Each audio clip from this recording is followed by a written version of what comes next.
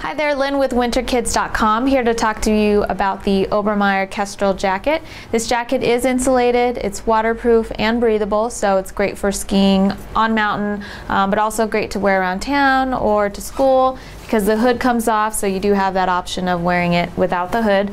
The jacket comes with a working compass as well as a chest pocket. There are um, hand gaiters on this jacket. And then on the inside here, you're gonna get a fleece lined inner collar, so it's nice and cozy when you're fully zipped up.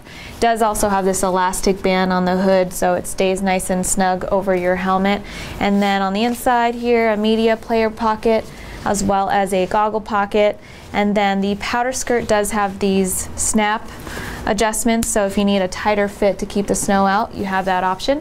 And then also, this comes with Obermeyer's iGrow system, so if you flip the jacket inside out, cut out the contrasted color stitching in the sleeves, you'll get another inch and a half in length, so that way this jacket lasts for multiple seasons. The instructions are also on this label on the inside of the jacket, and this is the Obermeyer Kestrel jacket.